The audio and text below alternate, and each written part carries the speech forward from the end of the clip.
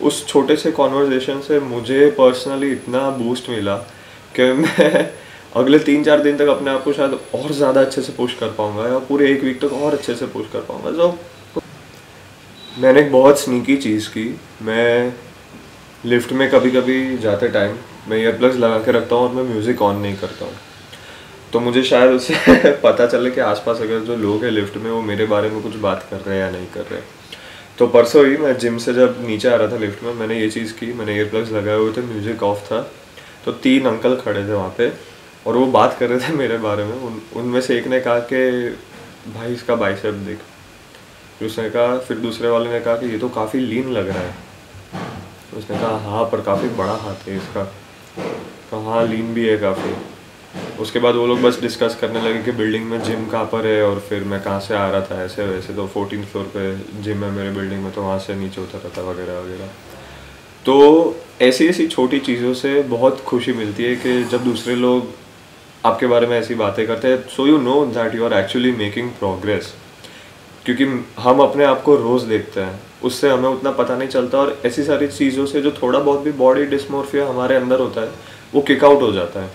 उस छोटे से कॉन्वर्जेशन से मुझे पर्सनली इतना बूस्ट मिला कि मैं अगले तीन चार दिन तक अपने आप को शायद और ज़्यादा अच्छे से पुश कर पाऊँगा या पूरे एक वीक तक और अच्छे से पुश कर पाऊँगा। तो तो मेंटली बहुत अच्छा लगता है क्योंकि हमारे फैमिली वाले हमें रोज़ देखते हैं हमारे फ्रेंड्स हमें रोज़ देखते हैं हम अपने आप को मिरर में रोज़ देखते हैं। हमें पता नहीं चलता जनरली कि हमारा प्रोग्रेस कितना हुआ है। सो so, या yeah, इससे काफ़ी अच्छा लगा और ये चीज़ अगर आपको ट्राई करनी हो किसी लिफ्ट में कहीं तो ट्राई ज़रूर करना।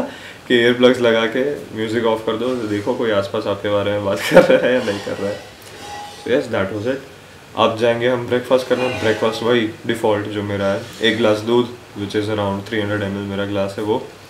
दो केले और तीन toast so let's go physique update completely empty stomach कुछ नहीं खाया सुबह से अब तक। So this is how I look right now और वेन भी करके नहीं देखा so I am still assuming that I am 68 kgs थोड़ा सा थोड़ा सा ज़्यादा शायद।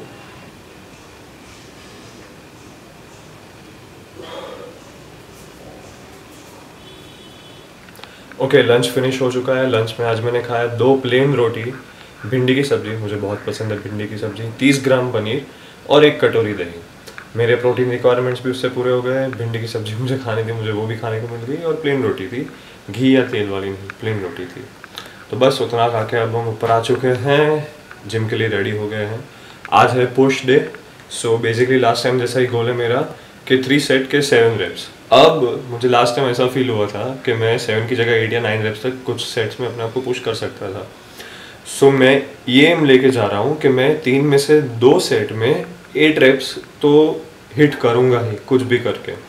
तो देखते हैं वो कैसे जाता है कि थर्टी के जी के एट रेप्स दो सेट में और किसी एक में seven reps so let's see कैसा फील हो रहा है। जिम में जाने के बाद मैं पुश कर पा रहा हूँ, नहीं कर पा रहा हूँ, पहले जितना पुश हो रहा है या नहीं हो रहा है।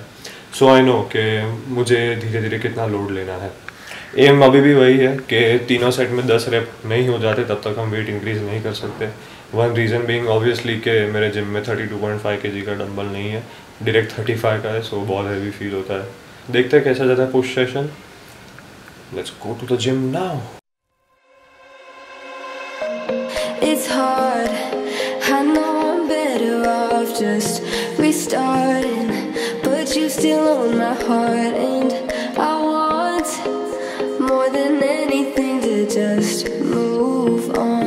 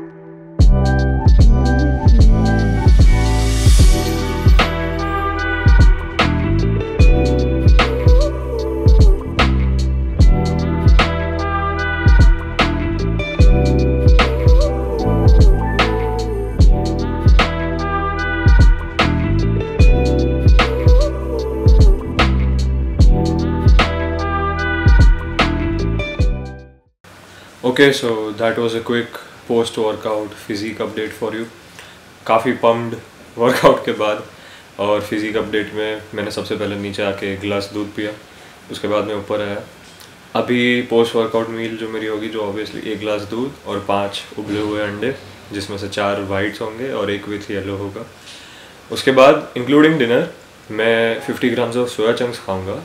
और रेड सॉस पास्ता खाऊँगा, जो कम्प्लीटली होम कुकड है कम्प्लीटली होम कुकड है। जिस जिसको नहीं पता, मैं पहले एक पास्ता एंड पिज़्ज़ा शेफ था। So I love to cook pasta and pizza तो हाँ पास्ता खाएँगे रेड सॉस के साथ। और उसके साथ 50 grams of soya chunks so that will be the end of today's eating schedule और जिम में भी I was able to push myself जो 30 के जी के तीन सेट में सोच के गया था एट रेप्स के साथ। वो मैं फ़र्स्ट दो सेट में अच्छे से कर पाया। थोड़ा डिफ़िकल्ट लगा मुझे, मगर मैं कर पाया। और लास्ट सेट में मुझे, मैंने वो जो क्लिप है, वो जो लास्ट वाली क्लिप है चेस्ट प्रेस की, वो थर्ड सेट की है। तो मुझे याद नहीं अच्छे से कि मैंने सेवन रेप्स अटेम्प्ट किए या एट या सेवन एंड हाफ़ मुझे सीरियसली याद नहीं है। तो हाँ लास्ट सेट मेरा कंपेरेटिवली पहले दो से बहुत डिफ़िकल्ट हो गया था। तो हाँ दूसरी मेरी पुश डे पे फेवरेट एक्सरसाइज होती है लैटरल रेजेस मैं थर्सडेज को लैटरल शोल्डर्स में सिर्फ़ लैटरल रेजेस मारता हूँ। पहले मैंने स्टार्ट किया था कि छः छः सेट लगाऊँगा, फिर धीरे धीरे ग्रेजुअली मैं उसको ऊपर ले गया मैं अभी आठ सेट लगा रहा हूँ और मुझे आज ऐसा फील हुआ कि मैं नौ या दस सेट खींच सकता हूँ उसमें। मुझे बहुत ही फाइनली इतने सालों की ट्रेनिंग के बाद मुझे पहली बार ऐसा हो रहा है कि लैटरल रेजेस करते समय मुझे मेरे शोल्डर्स बहुत अच्छे से फील होने लगे।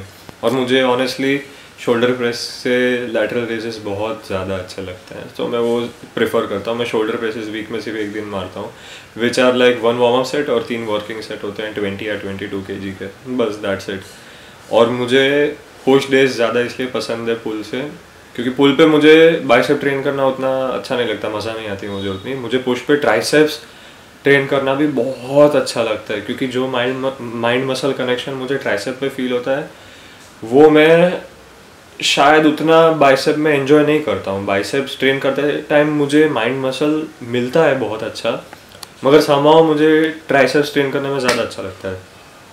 सो या अभी एक क्विक शावर लेंगे, उसके बाद मैं नीचे जाऊँगा, आपको मेरी मील दिखाऊँगा कि मैं क्या खाना खा रहा हूँ। और अगर ये वीडियो अच्छा लगा हो तो प्लीज़ प्लीज़ प्लीज़ वीडियो को लाइक कर देना, उससे मेरी बहुत हेल्प होती है।